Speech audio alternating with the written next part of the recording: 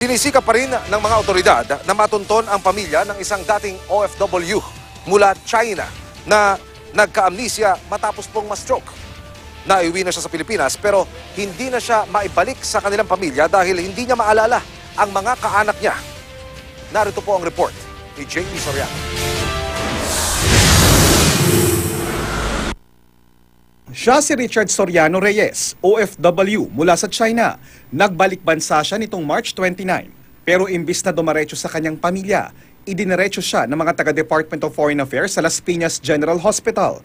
Wala kasing maalala si Richard, maging kung sino ang kanyang kaanak. Sabi ng DFA, 2017, na-stroke at nagka-brain hemorrhage daw siya. Sumailalim sa mga operasyon at pagsusuri hanggang sa maging stable ang kanyang kondisyon. Pero nabura ang kanyang alaala. Hinanap daw ng DFA ang kanyang mga kaanak, pero bigo silang matunto ng mga ito. Very hazy yung kanyang background, kung may asawa, kung may anak, yung pamilya dito sa Pilipinas, parang wala siyang masyadong ties. Sa China po kayo nagtrabaho ng matagal? Sa China? China? Matagal, yes.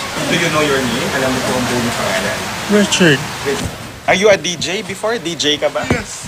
Pero nang tanungin ang tungkol sa kanyang anak, Kayong anak? Do you have a daughter? Do you have a son? Meron ka bang anak? Yes. Meron? Yes. Ah, do, you, do you know her name or his name? Yes. Ano pangalan? You can't remember? Yes. Can't remember. Alam mo meron lang. Huh? Sana mapanood ka niya, no? Papuntahan ka niya dito. merong tattoo si Richard na Amanda. Pero hindi niya maalala kung sino si Amanda sa kanyang buhay. Muling nadagdagan ang mga naaalala ni Richard, gaya ng muling tanungin kung taga saan siya. Las Piñas. Marikina? Marikina? Marikina. Marikina? Marikina. Panawagan natin sa mga taga barangay, Marikina. isang barangay ng O yung Marikina. mga mayor ng Marikina. Naiintindihan niya kung ano yung sinasabi natin, pero hindi niya ma-express. Kaya ik- nakikita natin yung frustration niya na gusto niya magsalita, kaya lang hindi niya masabi sa atin eh.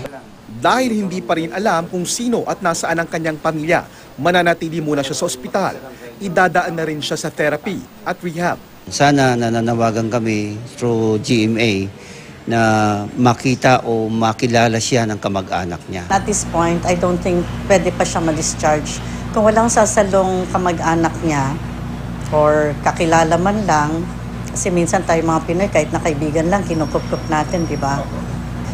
Eh, parang ang thinking namin sa DFA is maiwan muna siya dito.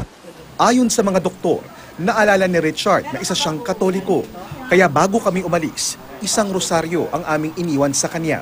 Para sa mga nakakakilala kay Richard o nais tumulong, maaari itong ipagbigay alam sa social service sa Las Piñas General Hospital. JP Soriano, GMA News.